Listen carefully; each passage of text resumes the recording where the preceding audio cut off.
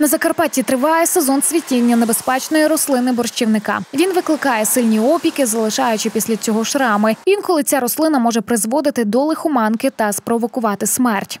Щороку журналісти М-студіо піднімають це питання. На опіки від борщівників неодноразово скаржилися як місцеві, так і туристи. Однак, як бачимо, і досі про боротьбу з цією небезпечною рослиною мова не йде.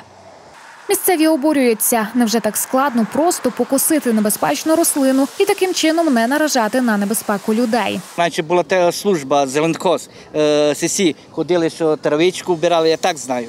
А тепер тобто, маються ці служби боротися, щоб е, люди були, е, допустим, не боялися вийти, допустим, на пляж, за пляжем, на свою ділянку, і щоб вони спокійно йшли. Борщовик це отруйна рослина. Це знають всі е, батьки, мами. Ну, берегти треба дітей від борщовика. Викликає опіки шкіри, це небезпечно.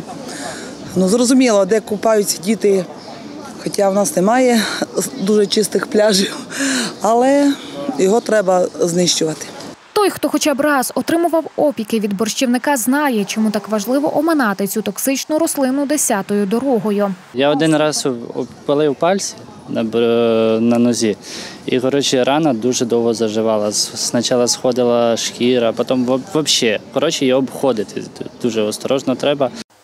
Належний санітарний стан території, де розповсюджується борщівник, повинні підтримувати органи місцевого самоврядування, а контролювати це голови ОТГ. Тож опіки, нанесені цією рослиною, особливо дітям, повинні залишатися саме на їхній совісті.